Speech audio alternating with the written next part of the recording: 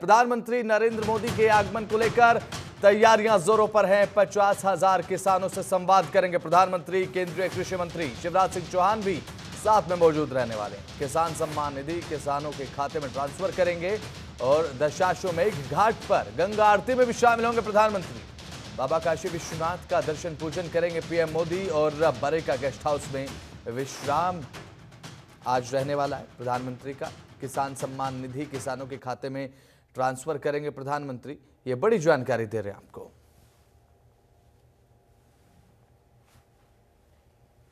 तो आज वाराणसी जाएँगे प्रधानमंत्री नरेंद्र मोदी। पचास हज़ार के किसानों से संवाद आज किया जाएगा पीएम की तरफ़ से। तो कहीं ना कहीं किसान जो हैं, वो उत्साहित भी हैं प्रधानमंत्री के इस दौरे को लेकर और किसानों के लिए अच्छी खबर भी है कि किसान सम्मान निधि की राशि उनके बैंक अकाउंट्स में आज डिपॉजिट की जाएगी।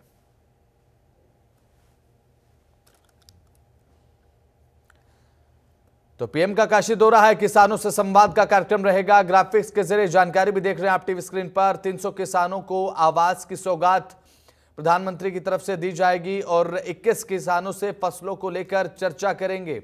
और ये ज़रूरी भी है, किसानों के खाते में सम्मान निधि ट्रांसफ़र की जाएगी प्रधानमंत्री की तरफ़ से। तो प्रधानमंत्री नरेंद्र मोदी काशी आ रहे हैं, किसानों के लिए विशेषकर कई सौगात लेकर आ रहे हैं। अब किसानों से संवाद कार्यक्रम है। फ़सल को लेकर हाल जानेंगे कि फ़सलों का फ़िलहाल क्या हाल बना हुआ है। फ़सल को लेकर बातचीत होगी। 300 किसानों को आवास की सौगात पे प्रधानमंत्री देने वाले हैं।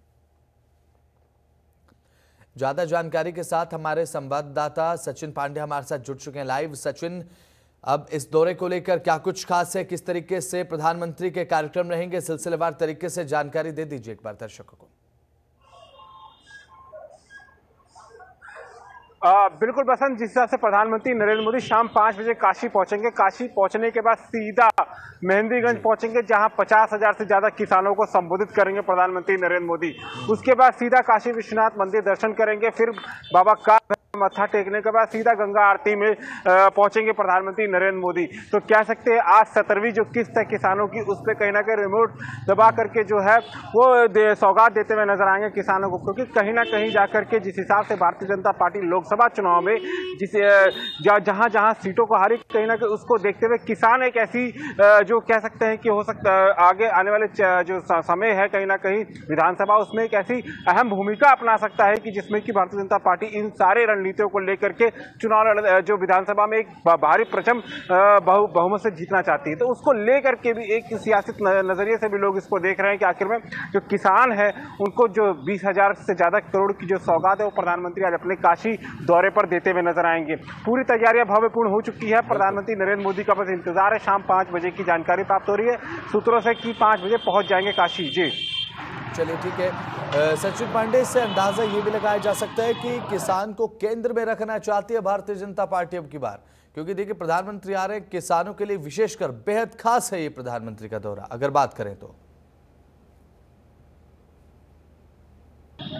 जी बिल्कुल बसंत जिस हिसाब से प्रधानमंत्री नरेंद्र मोदी किसानों के हित की आज बीस हज़ार से ज़्यादा करोड़ की सौगात देंगे उसमें कहीं ना कहीं यही लगा अंदाज़ा लगाया जा सकता है कि किसानों को केंद्र में जो आपने बात की रखने की पूरी अहम भूमिका है क्योंकि तो शिवराज सिंह चौहान भी इस, इस मौ, मौके पर आज मौजूद रहेंगे। तो ये चीज़ ज़रूर है कि आखिर में जो किसानों को लेकर के प्रधानमंत्री नरेंद्र मोदी इतना बड़ा जो फैसला करते हुए नज़र आ रहे हैं कहीं ना कहीं किसानों के अंदर भी एक खुशी की लहर है और लगातार इन चीज़ों को देखते हुए किसान भी एकदम खुशी की लहर से दौड़ उठे हैं, जी। बिल्कुल।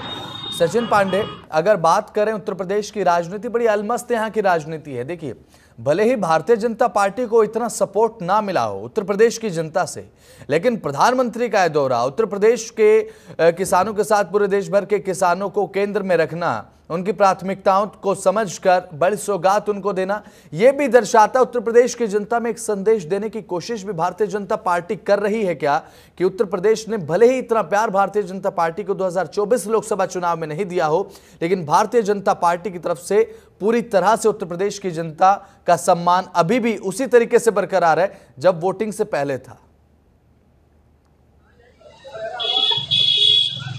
जी, बिल्कुल, बसंत जिस हिसाब से प्रधानमंत्री लगातार सौगातों की बौछार करते हुए नज़र आ रहे हैं भारतीय जनता पार्टी जो किसान क्योंकि सबसे बड़ी बात आज प्रधानमंत्री नरेंद्र मोदी पहुँचेंगे तो काशी वासियों का आभार व्यक्त करते हुए नज़र आएँगे। तो आपने जो बात कही उत्तर प्रदेश में उतना नहीं मिल पाया लेकिन हाँ जो प्रधानमंत्री नरेंद्र मोदी चाहे उत्तर प्रदेश के मुख्य योगी आदित्यनाथ तमाम ऐसी जो उत्तर प्रदेश के लिए लोगों के लिए जो सीधा जनता से जुड़ती है उसके लिए तमाम ऐसी परियोजनाओं का भी कहीं ना कहीं शिलान्यास करते हुए नज़र आ रहे हैं और लगातार सौगात जो है वो जनता को सीधे देते हुए नज़र आ रहे हैं। लोकसभा चुनाव में प्रचंड बहुमत न मिलने की वजह से भी कोई दिक्कत नहीं विधानसभा 2027 की तैयारी अभी से स्टार्ट हो चुकी है। किसानों के हित को लेकर के, जो यहाँ पर आम जनमानस है, उनके हित की बातों को लेकर के तमाम जितनी चीज़ें हैं, वो भारतीय जनता पार्टी करते हुए नज़र आ रही है। तो कह सकते हैं कि लोकसभा चुनाव में भले कई सीटों पर वो न जीत पाए हो, लेकिन हाँ विधानसभा जो सीट है, कहीं ना कहीं जाकर के उस पर भारतीय जनता पार्टी लगातार जो बढ़त करते हुए कैसे किया जाए और कैसे परचम लहराया जाए, उसको लेकर के लगातार भारतीय जनता पार्टी इस चीज़ों की तैयारी करते हुए अभी से ही नज़र आ रही है। जी। बिल्कुल। सचिन पांडे काशी भी जाएँगे। प्रधानमंत्री नरेंद्र मोदी काशी वासियों के लिए भी खास हो जाता है दौरा, क्योंकि संसदीय क्षेत्र है। भले जीत का मार्जिन ज़्यादा ना रहा हो, लेकिन तीसरी बार प्रधानमंत्री पद की शपथ नरेंद्र मोदी ने ज़रूर ली। और संसदीय क्षेत्र में पहुँचना खुद प्रधानमंत्री नरेंद्र मोदी के लिए भी खास होने वाला है। जी, बिल्कुल, क्योंकि तीसरी बार प्रधानमंत्री नरेंद्र मोदी काशी से सांसद हुए और प्रधानमंत्री बने 2014-2019 की अगर हम बात करें, उसके बाद 2024 में जिस तरह से प्रधानमंत्री नरेंद्र मोदी पहुँच रहे हैं आज काशी, प्रधानमंत्री बनने के बाद तो उत्साहित तो पूरी जनता है और कहीं ना कहीं प्रधानमंत्री भी इन चीज़ों को लेकर के उत्साहित होते हुए नज़र आ रहे हैं। लगातार भारतीय जनता पार्टी ने पूरी तैयारी कर रखी है, प्रशासनिक अमले ने पूरी तैयारी कर रखी है, बस इंतज़ार, क्योंकि काशी को भी दुल्हन की तरह सजा दिया गया और लाइटिंग से लेकर के घाटों पर, जो कि एस ने चार दिन पहले यहाँ पर निरीक्षण किया था और देखा था कि कोई ऐसी चीज़ें तो नहीं रह गई जिससे कि दिक्कतों का सामना करना पड़े। और यहाँ पर एनडीआरएफ और एनडीएफ एनडीआरएफ और जो जल पुलिस है वो भी तैनात है और लगातार जो है चप्पे चप पूरी निगरानी रखी जा रही है काशी पर और चाक चौराह पर चेकिंग के दौरान यहाँ पर जितने पुलिसकर्मी हैं वो लगातार आगे भेजते हुए नज़र आ रहे हैं। तो कह सकते हैं मौसम भी आज जो है कहीं ना कहीं नमी बरतता हुआ नज़र आ रहा है। तो इन सारी चीज़ों को लेकर के पूरी की पूरी अलर्ट है काशी और कहीं ना कहीं एक उत्तर प्रदेश के योगी आदित्यनाथ भी पहुँचे थे इस मोर्चे को संभालने पूरा विकास कार्यों की जो क्या समीक्षा है उसकी भी बैठक करते हुए नज़र आए थे। तो बस इंतज़ार बसंत आज शाम पाँच बजे क्योंकि तीसरी बार जब प्रधानमंत्री नरेंद्र मोदी ऐसे सांसद हुए तो पहली बार काशी जो है पहुँच रहे हैं। तो बहुत अहम इसलिए भी है और यहाँ के जो लोग हैं उनकी एक झलक पाने के लिए वैसे ठीक है सचिन पांडे अपनी नज़र बनाए रखिएगा इस दौरे पर जानकारी समय समय पर लेते रहेंगे आपसे। फ़िलहाल बहुत बहुत शुक्रिया आपका जुड़ा महत्वपूर्ण जानकारी आपने दी।